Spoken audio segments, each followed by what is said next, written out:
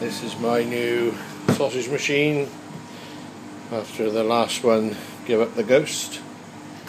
It's in a bit of a state at the moment, but nothing that a little bit of TLC won't put right. This is a very substantial sausage machine.